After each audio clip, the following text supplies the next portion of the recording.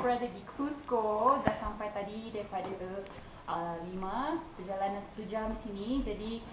kita orang dah sampai di hotel di sini yang bernama Hotel Las Casona Pleiades. Sungguh indah sekali pemandangan di sini boleh nampak bukit bukau dan boleh nampak sungguh tinggi 3399 meter daripada paras laut. Jadi kalau kita tak minum teh yang special akan kepala tapi um, sungguh gembira kita orang berada di sini dan um, terima kasih kepada Enagic business air kita orang yang membolehkan kita orang um, kembali sampai ke Amerika Selatan dan terima kasih Enagic terima kasih